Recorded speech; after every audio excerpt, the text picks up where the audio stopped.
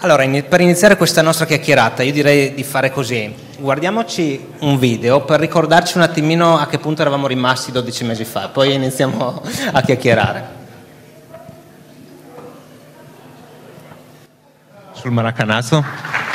Eh, hanno vinto 5 mondiali dopo quel mondiale, quindi evidentemente dal punto di vista tecnico il problema è stato superato ma c'è tanta gente in Brasile che mi dice che dal punto di vista psicologico la nazione non è mai riuscita realmente a recuperare da quel singolo momento, ovvero sia era il momento in cui dovevano mettersi sulla mappa del mondo per chi erano, per che cosa rappresentavano, cosa credevano di rappresentare e quella sconfitta gliel'ha fatto ritardare di circa 30-40 anni. Ecco, io non vorrei essere i giocatori della nazionale brasiliana nei dieci minuti prima di entrare in campo al Maracanã quest'anno se dovessero andare in finale perché c'è una ciclicità nella storia o addirittura essere quelli che perdono la partita prima di andare in finale. Siccome ci sono degli elementi perché questo succeda, mi dispiacerebbe per loro. Sì, proprio adesso che hanno probabilmente la squadra più scarsa degli ultimi vent'anni. No, No, eh, no, voglio dire, si parla così. Per... Io penso che la loro squadra più debole che abbia vinto sia stata quella del 94 a Pasadena come valore tecnico.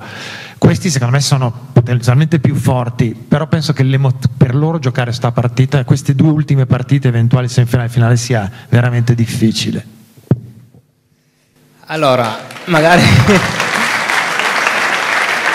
magari dopo in separata sede mi dai, mi dai, qualche dritta per la schedina, perché a questo punto... Però allora ti vorrei chiedere, al di là della, del risultato numerico, non ti ha sorpreso più di tanto come è andata a finire al Mineirão? No, no, era, a parte il fatto che secondo me erano meno forti di quello che pensassi in quel momento proprio come squadra, nel momento in cui hanno perso i due giocatori più importanti, eh, Neymar e Thiago Silva per quella partita contro la squadra più forte, no, sinceramente era abbastanza scontato, magari numericamente può cambiare, ma i tedeschi tanto non si fermano, l'abbiamo scoperto anche in altre circostanze, hanno il loro modo di onorarti e quello. E poi quando ero lì ho avuto la nettissima sensazione che ci fosse una differenza abissale tra il 1950 e il 2014, ovvero sia il pubblico del 2014 era un pubblico della media alta borghesia brasiliana che poteva permettersi di spendere i soldi per andare a vedere la partita, mentre il pubblico del Maracanã del 50 era un pubblico delle classi popolari, era veramente la torsida del pubblico brasiliano. E quindi il livello di disperazione di allora penso che non fosse neanche vagamente paragonabile a questo perché era diversa l'emozione e nel 50 i brasiliani erano sicuramente la squadra più forte mentre qui probabilmente non erano nemmeno le prime tre e poi quella partita è talmente difficile perché finisce in dieci minuti che non hai neanche il tempo di disperarti, soffri disperandoti gradualmente e poi capisci che non, non, non, non eri competitivo. Parecchi giornali brasiliani del giorno dopo sono usciti bianchi la prima pagina, cioè c'era il nome, la testata è tutto bianco non avevano niente da dire, non volevano parlare di minerasso, questo è un termine che loro non utilizzano. Ancora adesso può capitarti di incontrare delle persone di 50-60 anni, anche donne, che su un piccolo incidente domestico, tipo succede un disastro, cioè eh, si fa male qualcuno, che maracanasso. Cioè quella parola è parte della loro cultura per esprimere una situazione disastrosa in attesa, nella lingua delle nonne che c'erano nel 50 o anche dei nipoti che l'hanno sentito dire dalle nonne. Non c'è paragone di, possibile e, e quella era un'osservazione che poteva starci perché è emotivamente che il Brasile proprio non, poteva andare fuori anche col Cile o la traversa di Piniglia, cioè sarebbe stato anche fisiologico per certi aspetti, proprio non erano in grado emotivamente di giocare lì e la sensazione è che qualsiasi squadra possono avere a casa loro non riescono a giocare come potrebbero perché c'è troppa emozione, è ingestibile, sinceramente ingestibile. Certo.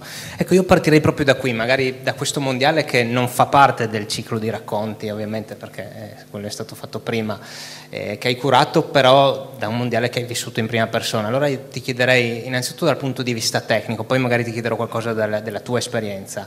Dal punto di vista tecnico, al di là di quel clamoroso risultato in semifinale, cosa ci ricorderemo di questo mondiale? Cosa ci porteremo dietro? Beh, ovviamente ognuno l'ha vissuto diversamente. Io che ho avuto il privilegio di stare lì, il Sud America che passava sotto, sotto la tua finestra, cioè eh, c'è un periodo di circa 10-15 giorni in cui Rio de Janeiro è completamente controllata da tifosi sudamericani non brasiliani che arrivano al seguito delle loro squadre. Quelli che mi hanno colpito di più i cileni.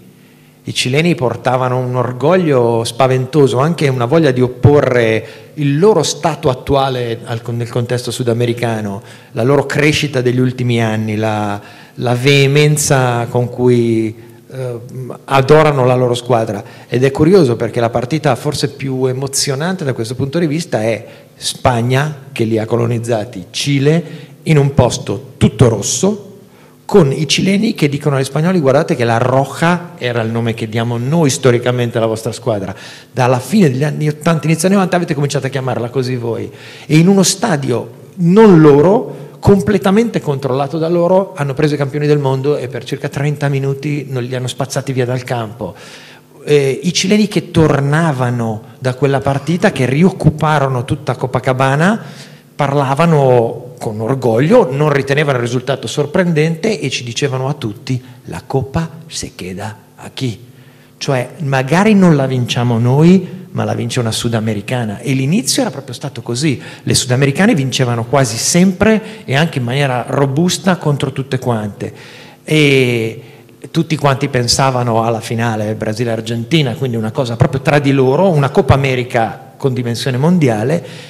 E poi le cose sono andate diversamente e, ha vinto una squadra che uh, ha vissuto il mondiale in maniera particolarissima noi tante volte parliamo di come noi eh, siamo tra di noi in difficoltà, bastano 30 km e le rivalità sono sanguinose. la Germania, per confessioni interne, ha detto il problema fino, fino all'edizione precedente è che tu non riuscivi a mettere i giocatori del Borussia Dortmund nella stanza di quelli del Monaco. Il Bayern e il Borussia non possono parlarsi.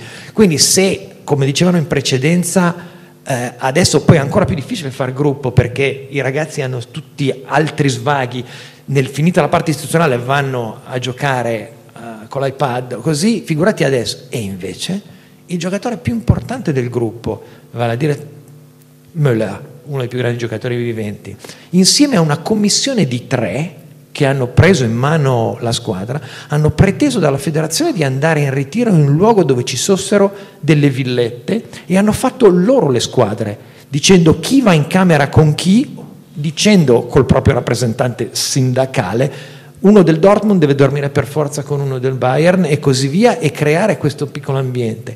E per far vedere che non scherzava, Thomas Müller si è presentato avendo perso una, una, partita di golf col massaggiatore o comunque con uno dello staff eh, di supporto fisico della squadra ed è andato vestito da camerierina uh, bavarese con le treccine e la gonnellina in cuoio a servire i compagni di squadra, compresi quelli del Dortmund. Come dire, loro hanno pensato che per vincere bisognasse fare qualche cosa che eh, riducesse l'impatto della rivalità che c'è comunque forte tra di loro. Il Dortmund è il rivale dello Schalke per territorialità e del Bayern per tutto il resto. E anche loro, finché non hanno risolto i loro problemi interni, non sono diventati la squadra poi molto coesa che ha vinto il mondiale tra l'altro del, del, carisma e del tipo di importanza che ha Thomas Müller l'abbiamo visto anche dopo, la, dopo, la dopo i quarti di finale vinti dal Bayern, no? il modo in cui si è relazionato con i tifosi. Impressionante giocatore di calcio, e ho, e ho, come l'impressione che poi questo cognome ritornerà anche su, su, su altre questioni. No? Sì. ecco. e,